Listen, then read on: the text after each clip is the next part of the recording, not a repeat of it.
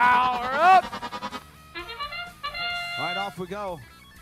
In autonomous 1902, quickly grabbing a cube. Two now for 1902. Can they get the third one? We've seen it a couple times from them.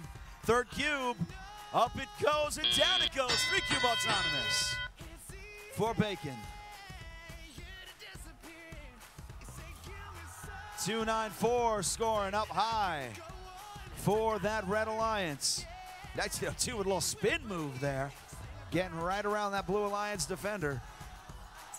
And 294 working through some defense of their own, scoring up high on the scale.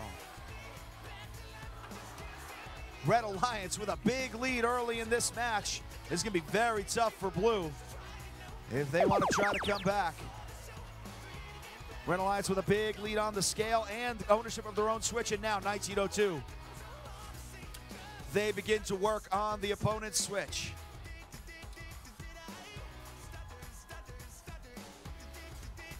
Two cubes. Now three cubes for the Blue Alliance on their own switch. Fourth cube in possession of Minecraft. They're going to go ahead and place it on their switch. Coming up on one minute left in this match. Still plenty of time, but Blue Alliance has a lot of ground to cover. And now Bacon begins working the exchange.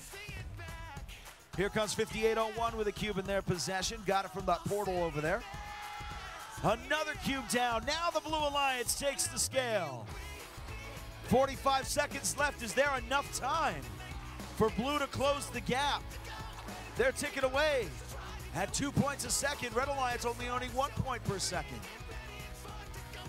So the gap is wide, but it is getting smaller and smaller. Blue Alliance moving to the center now. 4,400 with the hookup. No, can't quite get the hook engaged. Now here comes 294. They've got their hook.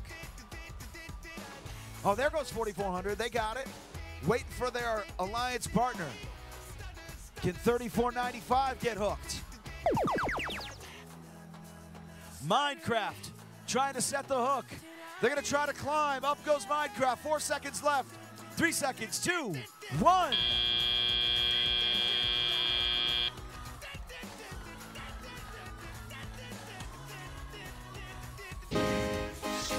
Winner, the Red Alliance. By a score of 422 to 307. Red Alliance wins it. Blue Alliance takes one ranking point for completing the auto quest.